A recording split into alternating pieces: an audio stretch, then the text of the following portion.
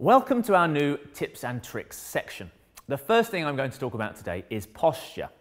Now, posture is vital in any form of dance, and especially in the ballroom and Latin dances where we're dancing with a partner. If you're stood on your own, it doesn't really matter how you stand. I mean, you can stand slouched. I mean, you don't necessarily look very good, do you? It's not a good look. But uh, it doesn't impact on anyone else, only, only yourself. So when you've got someone with you, it's important to stand well so that you can interact with them uh, to get the most out of your dancing. The first thing I want to, to mention is to ensure that your belly button is held underneath your rib cage. Okay, that avoids the slouched look. It's like a rounded bang. We don't want that. It's not a good, posi- not a good position at all. And uh, if you stood in front of your partner like this, they're not really going to look forward to dancing with you, to be honest. So you want to make sure that is underneath your ribs. It makes you stand nice and tall. Well, as tall as you can be anyway. Secondly, I make sure that my shoulders are backwards as well. Again, I don't want to stand like this. This isn't, again, a good position to be in. And then when, it, when I lift my arms up, you see, it'll affect my hold and how I can interact with my partner. So the shoulder blades go back, which again opens up the ribcage to present myself to my partner, also the audience that are watching me. And it means I stand and look much, much more attractive. Now, how does that work though with a partner? So how does it work when I'm holding them in, in a dance hold? Let's find out. We'll start with the ballroom holds, and there are five ballroom dances, of which four of them have the same hold. There's one that's different, it's tango, which we'll show you in a minute. I've got Chris and Jess here with me to help showcase all these holds. So we'll start off with the normal uh, waltz hold, let's say, which is the same for foxtrot, quick step and Viennese waltz. So if you'd like to take hold, guys. So remembering the posture aspect, so keeping the belly button underneath and the shoulders back. As you can see, the lady's left hand is on the man's right arm. So you want to make sure, ladies, there's a little muscle group here with most of the gents anyway. They've got a little muscle here that attaches the shoulder and the bicep. Your hand wants to go around that. All right, so either with your first finger and your thumb or your middle finger, it doesn't matter, it's all personal. You can have an antenna as well if you like. Sometimes you can pick up Radio 5 with that. No, I'm only joking. Uh, and you want to make sure there's a relatively firm grip there with that as well, okay? So you don't want that to slip round the back and tickle the man under the armpit. It's not an idea. Not a good idea either. So on the top of the man's arm. And gents, of course, you want to make sure that your right hand is on the lady's left shoulder blade. So as much as you'd probably like to, you don't want the hand slipping down and down and down the back. we'll save that for later. That's going to be up there to support the lady's back and her left arm as well.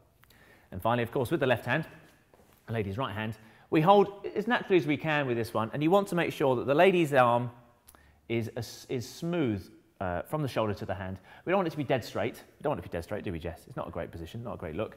A relatively soft elbow. Now, of course, depending on your size with your partner, that does change sometimes. So if you've got an exceptionally uh, long arms lady with a, with a bloke with little arms, then of course things are going to have to be a little bit uh, different and you're going to have to adapt. But uh, Chris and Jess are a perfect match for each other, and so this works very nicely. And of course, the man's arm is is complementing that too, and the elbow is relaxed. So we don't want big sharp elbows up like this. That will disturb the shoulders, which we talked about earlier, being, them being nice and relaxed backwards. Well, it's not relaxed actually, it's quite, uh, uses a lot of muscle tension to be honest, uh, but it's good, it looks good.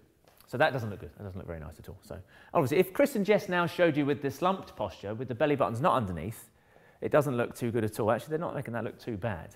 But, but uh, so if you have the belly button forward, and the shoulders back, uh, shoulders forward as well, like that, it doesn't look good really. It looks quite slumped. So if you stand back up again properly, looking to the left, it looks much nicer. So if you have a little twirl around, twirl around, twirl around, it looks much, much nicer. And uh, an attractive couple to dance on the floor. Now, just relax, guys. The tango, slightly different. All that we're going to have different, I'll just demonstrate with Jess if you don't mind for a second. Is that all right, Chris? So what we have different is that the right hand for the man is slightly further around the lady's back. And ladies, your left hand, rather than being on top of the man's arm, will be underneath his left arm like so. It's not in his armpit. Okay, so a lot of ladies like to stick the left thumb right in the man's armpit. For, for a couple of reasons, it's not ideal. Firstly, if you're dancing with a man, more than one dance, he could be a little warm. And it's not the nicest of places to stick your thumb. And secondly, it's not that comfortable. Now, if I was to do it to a lady, she gets a bit giggly. So, and some men are going to be ticklish as well. So you don't want to put your thumb under the armpit. It can be quite unpleasant. So it goes underneath the arm. And there's a level of tone there as well, ladies, to make sure that it's secure. Now the left hand, just a little bit closer as well, to give you a little bit of extra style and the right hand, as I said, goes slightly further around the back. And then the tango position, slightly more flexed in the knees, like so. All right, so that gives you the distinct look of tango, all right, which is a bit different to a waltz, a foxtrot, or a quick step or a Viennese waltz, where we would use this hold with the arms out further and the lady's hand on the top of the arm for all the other, what we call swing dances. Okay, so that is the ballroom holds. Now, the Latin American holds are a little bit more diverse. In the ballroom, we take a hold, we take a position, and we don't change that until the end of the dance when we spin our lady out to present to the audience. Now, Latin is a little bit different. We go from a closed hold to open hold to a side-by-side -side position to shadow position. There's a multitude of different positions we take in Latin, which depend on the steps that we are doing. So we'll just cover the closed hold, the open hold, and the position we'd have in a New York and a hand-to-hand, -hand, which most of you should be quite familiar with if you come to any of our classes. So to start with, I've got Chris and Jess again. We'll get them to stand in a closed hold in Latin.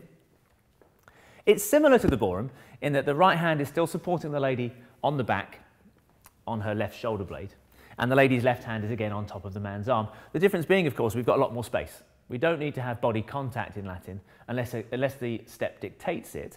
But when, when we're in a closed hold, we will have space, so therefore the arms are further away from us, okay, like so. So again, the lady's hand probably can be a little bit straighter and sometimes on the shoulder as well. Again, it's up to comfort and depends how long your arms are in relation to each other. And with the left-hand side for the man, lady's right-hand side, again, the arm's going to be curved, but again, it's slightly further forward. And the elbows will be more relaxed towards each other. The left hand will be pretty much the same position as it is in ballroom. So again, you can see the space there. Don't forget though the posture aspect. Because we're apart from each other, again, you don't want to be looking like this because it not only uh, doesn't, look, doesn't look very good, but it looks even worse when you've got lots of space between each other. Okay, so it's very important to maintain that belly button underneath at all times when you're doing Latin as well. Now, if we go to the open hold, which would be, just with the man's left and lady's right hand in this instance, uh, the left hand, gents, you want to make sure that stays around about your left hip height. You wouldn't want it to be too high, like so, because then if you did a basic action, ladies went backwards, you're attacking the lady's upper body. Now what that will cause, as you can see with Jess, she's fallen backwards slightly. So that's not a good position at all. We want to make sure that the lady moves through the hip position, through the hip line. So the hand needs to be relatively low as well to, to allow that to happen. So if Chris and Jess do a back basic now, you can see that the hand stays low, the hip action is good, and it doesn't push the lady off balance at all. Okay? Incidentally, in this position as well, if I just borrow Jess for a second there, Chris, the hand is always, for us, underneath the lady. So the lady is always in our hand. What we wouldn't want to do is something like this. That's a slightly ungainly hold, and again, it doesn't look very nice, and it generally encourages bad posture as well.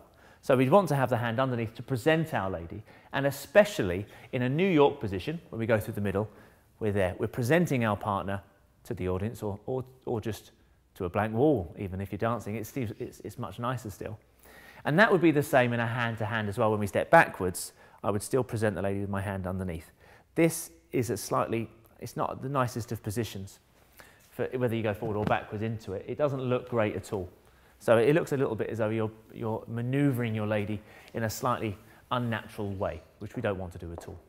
So all I can say in conclusion is to ensure that the posture is good at all times. You want to look good, not only for yourself, but for your partner. Belly button underneath, shoulders back. And then when you're in hold, be courteous, be nice to your partner. Don't squash and squeeze. Make sure there's a firm hold, but uh, not to the point where your lady goes bright red in the face. And even when you're dancing Latin as well, a relatively firm hold as well to make sure you can lead your lady properly. But at all times, you want to ensure that you stand beautifully.